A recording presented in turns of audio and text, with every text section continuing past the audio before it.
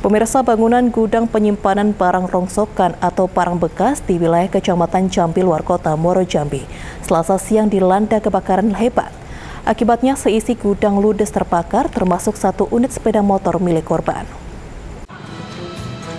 Inilah video amatir yang direkam warga saat detik-detik terjadinya kebakaran hebat yang menghanguskan sebuah gudang penyimpanan barang rongsokan atau barang-barang bekas milik warga di desa Mendalo Darat, Kecamatan Jambi, luar kota Muaro Jambi.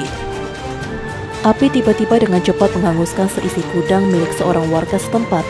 Besarnya kobaran api dan tiupan angin kencang di lokasi peristiwa kebakaran ini membuat kobaran si jago merah dengan cepat meludeskan barang-barang di dalam gudang yang sebagian besar terbuat dari papan kayu dan besi tersebut.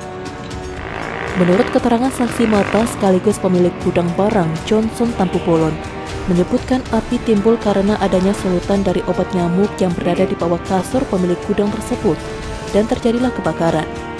Api dapat dikuasai setelah 30 menit berselang setelah mendapatkan pertolongan dari Dinas Pemadam Kebakaran setempat. Selain gudang beserta isinya, kebakaran ini juga merusak dan membakar satu unit sepeda motor milik korban yang saat itu belum sempat diselamatkan sepenuhnya. Penyebabnya ini dari anti nyamuk. Hmm, itu nyamuk ya. Dari anti nyamuk. Jadi karyawan di sini ditinggal, bikin Hmm. barang. Nah tiba-tiba, nah itulah terbakar kardus di bawah alas tempat tidur. Oh. Tetangga nampak api, Hmm.